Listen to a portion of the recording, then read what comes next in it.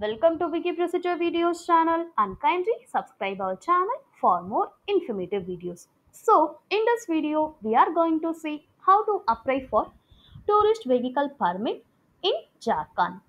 The link I'm highlighting right now is provided below description of this video. You can click on it to reach this page.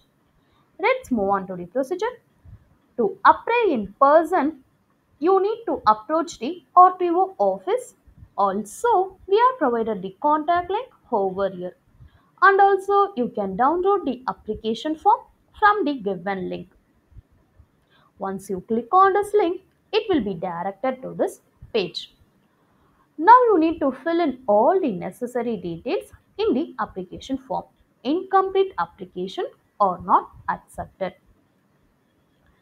Make sure that you have attached all the necessary documents that are mentioned in the required documents section of this page. Please scroll down and check the detailed information here. You can obtain the application form from the relevant RTO offices and present it with appropriate fees. Complete the application form in one of the counters, pay the appropriate fees, and the official will start processing your application. During the permit verification process, the authorities will check for more important details such as vehicle condition, body build, seating arrangements, etc.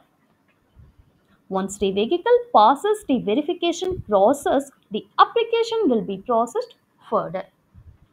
And in below section, we are provided the fee section.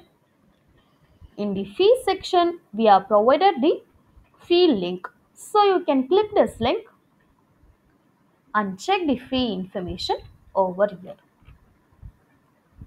Also, you can check more details related to the procedure in below each section.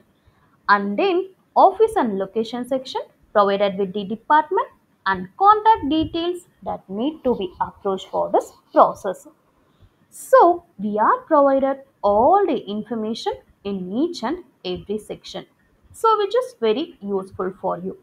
If you have any queries or about videos, just comment us so we will get back to you as soon as possible. And kindly subscribe our channel for more informative videos. Thank you.